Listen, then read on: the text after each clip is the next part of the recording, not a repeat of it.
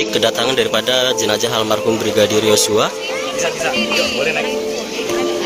ke makam setelah dilakukan otopsi Tribuners maka kami secara kedinasan Tribuners. Selamat siang Tribuners, bersama saya Tria Wulandari. Inilah update berita terkini yang dilaporkan langsung reporter Tribun Network dari lapangan. Bersenjata lengkap laras panjang sudah standby atau siaga di lokasi makam Tribuners dan rombongan ambulan juga sudah mulai mendekat ke lokasi makam Tribuners.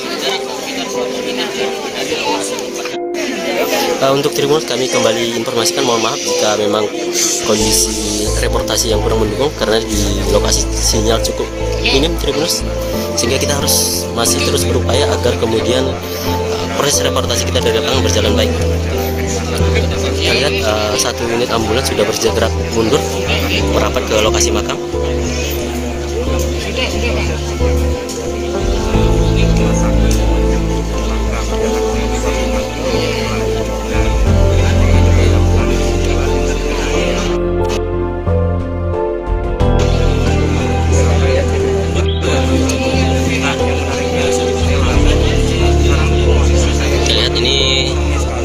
Petugas bersenjata lengkap yang akan uh, memimpin yang enggak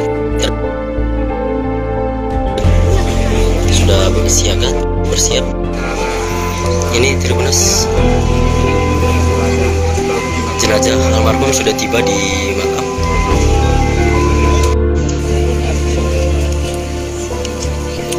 Uh, mohon maaf Tribunus kembali bersama saya Arya Tondang di lokasi karena memang cukup ramai ratusan lebih dari uh, 300 masyarakat berada di lokasi sehingga memang semua masyarakat ikut antusias mengabadikan ini menggunakan akun media sosial pribadi.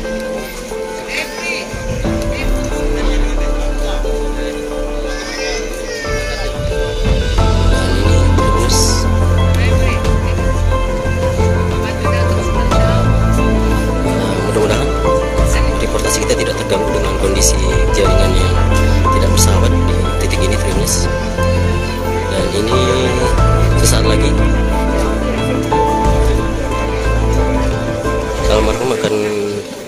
dikeluarkan dari ambulan untuk dimakamkan secara kedinasan ini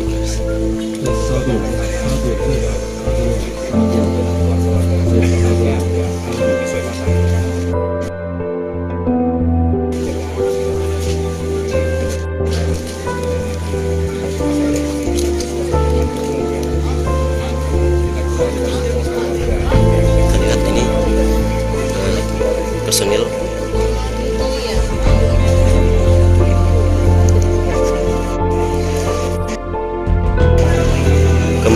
saya terima kembali kami mohon maaf dengan kondisi eh, jaringan yang tidak mendukung di lokasi.